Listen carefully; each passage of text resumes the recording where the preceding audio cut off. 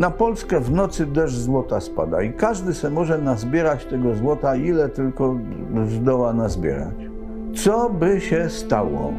Następnego dnia wzrosły wszystkie ceny. Więc jeżeli byśmy zaczęli dodrukowywać pieniądze, no to nagle by na rynku przybyło złotówek, a chleba, stali, ropy nie przybyłoby, było cały czas tyle samo.